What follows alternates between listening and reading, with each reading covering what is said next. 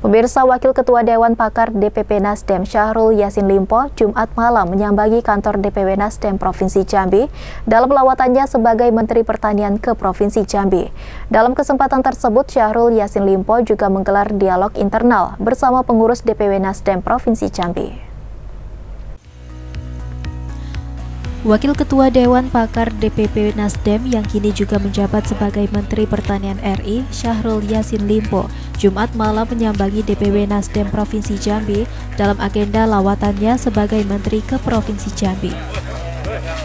Syahrul menyempatkan mengunjungi kantor DPW Nasdem Provinsi Jambi yang baru di Jalan Raden Matahir, Kelurahan Rajawali, Kecamatan Jambi Timur, Kota Jambi, yang belum lama ini diresmikan oleh Wakil Ketua Umum DPP Nasdem Ahmad M. Ali saat Rakorwil DPW Nasdem Provinsi Jambi.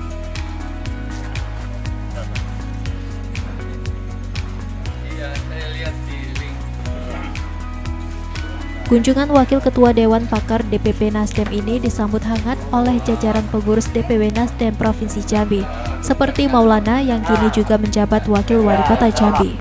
Wakil Ketua Bidang Hukum Sertian Syah, Wakil Ketua Bidang Kemaritiman Nirvan Zulkarnain, Wakil Ketua Bidang Komunikasi Media Arjuna, beberapa Ketua DPD Nasdem, serta kader-kader DPW Nasdem Provinsi Jambi.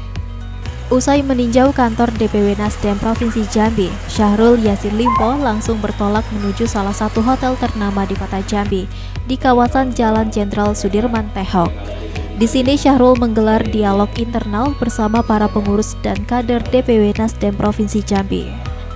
Syahrul Yasin Limpo juga menyampaikan terkait perkembangan pesat Partai Nasdem saat ini, baik dalam kontribusi di pemerintahan maupun di legislatif. Dimas Sanjaya, Cek TV melaporkan.